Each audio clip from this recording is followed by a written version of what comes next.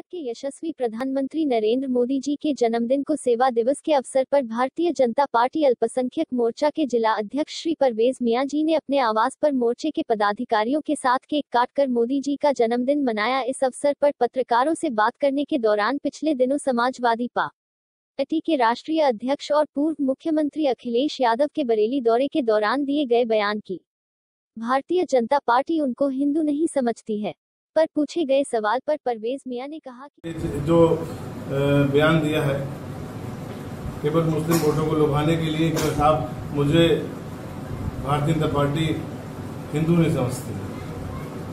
Samajwadi party के राष्ट्रीय अध्यक्ष और पूर्व मुख्यमंत्री श्री अखिलेश यादव जी से जो उनका बयान था कि भारतीय जनता पार्टी उन्हें हिंदू नहीं मानती है तो मेरा उनसे आग्रह है कि वो, मैं भाजपा मोर्चा के जिलाध्यक्ष होने के नाते मैं उनको दावत दे रहा हूँ कि वो आए और हमारे इस्लामी परंपरा के अनुसार हमारे साथ इस्लाम को कबूल करें।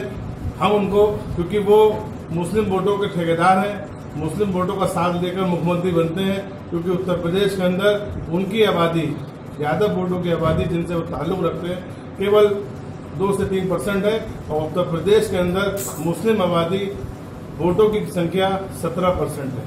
तो मैं उनको दावत देता हूँ कि वो आए। मैं उनको चलता हूँ कि इस्लाम कबूल कराने के लिए, और मैं उनको कहता हूँ कि आप, मैं उनको दावत देता हूँ कि अगर वो हिंदू नहीं है तो मुसलमान बने। आइए, खाली टोपी लगाने से कुछ नहीं होगा, मोल्ला मुलायम बनने से कुछ नहीं होगा। आप इस्लाम कबूल करिए, हम आपको इस्लाम कबूल करवाते हैं।